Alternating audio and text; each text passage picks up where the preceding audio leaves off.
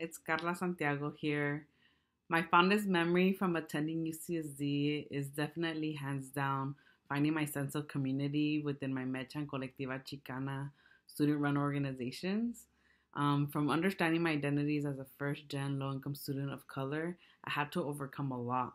I experienced the systemic racism and multiple facets of my undergraduate career, and these organizations built me up to speak up for my community and, most importantly, for myself. Mecha provided me with the cultural warmth I needed from such a white institution, and Colectiva Chicana allowed me to embrace my accent and my roots from Oaxaca and Jalisco. Um, I hold these orgs so close to me, and they allowed me to understand that the system I form a part of, even though it wasn't built for me, I deserve to be there. I will always hold these memories close to heart because it really defined my college experience, but it definitely guides my passion as a working professional that I am today. Hey y'all, this is Scott with 10,000 Degrees, and I want to share with you some of my favorite experiences uh, from college.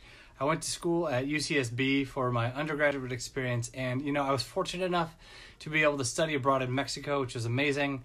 Uh, I was also lucky enough to participate in an undergraduate research program, which was great preparation for grad school. I learned a ton, took a million great classes.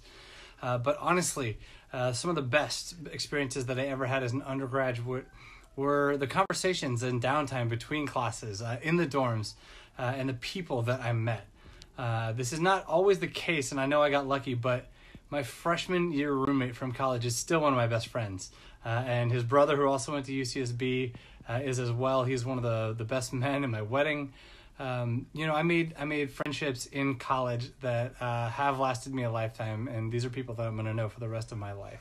Absolutely, one of the underrated and best things about college. Thanks, y'all. Hi all, this is Josue Castillo from 10,000 Degrees.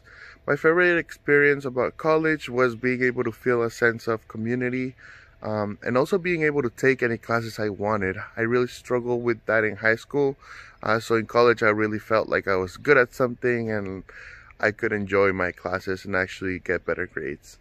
I was privileged enough to get the chance to study abroad and I went to go study at a university in the south of France in a place called Provence, which is along the Mediterranean coast.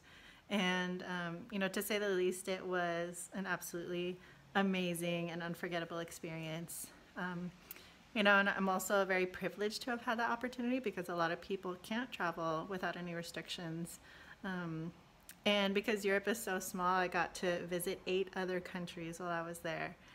And you know met people from all different walks of life got to try new and exotic foods and just enjoy the beauty of the cities and the monuments there the beaches. So it was really kind of like living a little fairy tale Hi everyone, it's Mia. I am a CSU fellow and I work with all CSUs except for Sacramento State and Sonoma State.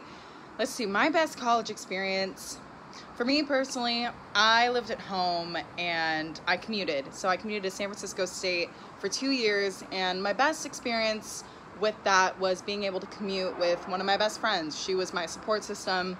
We helped get each other through early morning classes uh, as well as commute time.